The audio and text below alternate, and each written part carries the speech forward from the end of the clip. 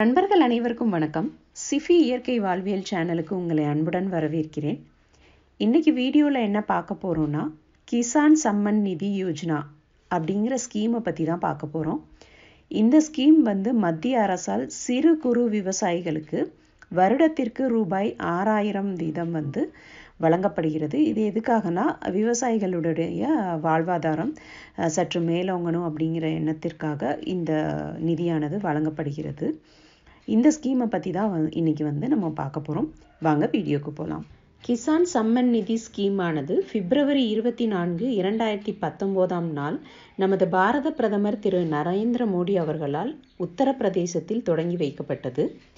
இரண்டாயிரத்தி பத்தொம்போது இரண்டாயிரத்தி இருபது இந்த ஆண்டிற்காக சுமார் எழுபத்தி ஐந்தாயிரம் கோடி ரூபாய் வந்து நிதி இந்த திட்டத்திற்காக மத்திய அரசால் ஒதுக்கப்பட்டுள்ளது. இந்த ஆறாயிரம் ரூபாயானது வருடத்திற்கு மூன்று தவணையாக விவசாயிகளின் வங்கி கணக்கில் செலுத்தப்படுகிறது.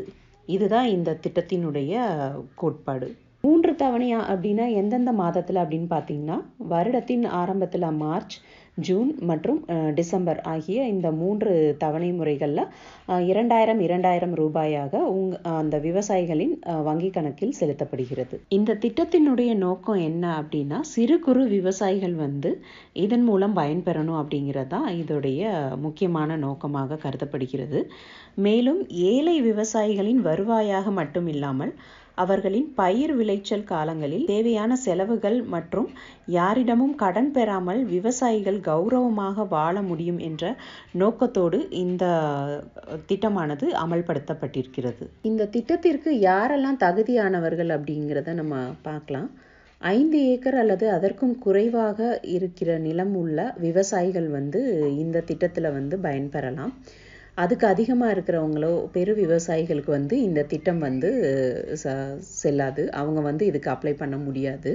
இது வந்து ரொம்ப முக்கியமான பாயிண்ட்டு இதில் முக்கியமாக பார்த்திங்கன்னா சிறு குறு விவசாயிகள் வந்து இந்த திட்டத்தின் மூலம் ஆஹ், பயன்பெறலாம்.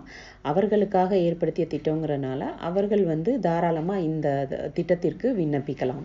அடுத்து இதற்கு தேவைப்படும் ஆவணங்கள் என்னென்ன? ஒரு விவசாயியா என்னென்ன ஆவணங்கள் வந்து இந்த திட்டத்தில் பயன்பெறணும் அப்படின்னா அவர் வை வைத்திருக்கக்கூடிய ஆவணங்கள் என்னென்ன அப்படிங்கிறத பார்ப்போம். விவசாய நிலத்தோட பட்டா சிட்டா வந்து கண்டிப்பாக வேணும்.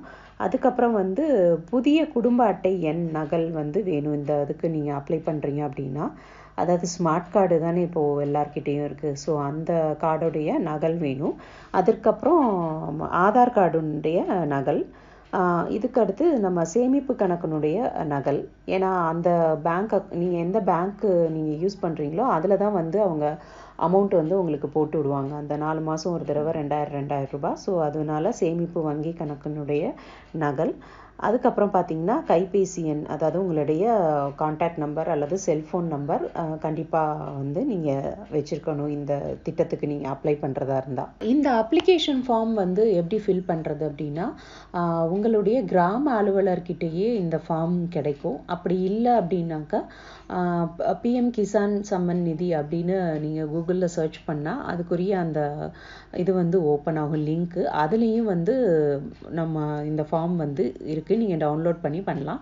பட் இது வந்து இங்கிலீஷ்லேயே இருக்கும். ஸோ அதனால் நீங்கள் கிராம அலுவலர்கிட்டயோ இல்லை வந்து தமிழில் இருக்கிற ஃபார்மையோ டவுன்லோட் பண்ணி அதில் கேட்குற டீட்டெயில்ஸ்லாம் வந்து நீங்கள் கரெக்டாக கொடுத்து ஃபில் பண்ணி சப்மிட் பண்ணணும். இதில் வந்து முக்கியமாக உங்களுடைய புகைப்படம் யார் மனுதாரரோ யார் இதுக்கு தேவை இந்த திட்டம் வந்து வேணும்னு நினைக்கிற விவசாயிகளுடைய புகைப்படம் கண்டிப்பாக ஒட்டியிருக்க வேணும்.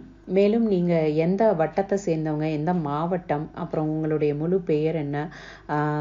தந்தை பெயர் என்ன? இல்லை பெண் விவசாயியாக இருந்தால் அவங்களுடைய கணவர் பெயர் என்ன?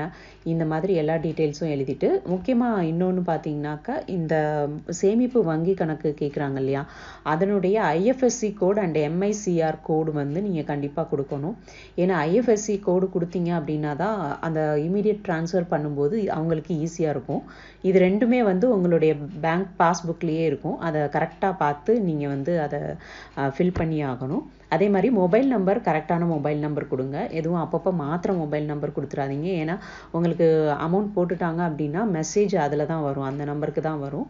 இதுதான் வந்து எப்போவுமே உங்களுக்கு காண்டாக்ட் பண்ணுறதுக்கோ இதுக்கோ தேவைப்படுகிற நம்பர் ஸோ அதை வந்து நீங்கள் கரெக்டாக கொடுக்கணும்.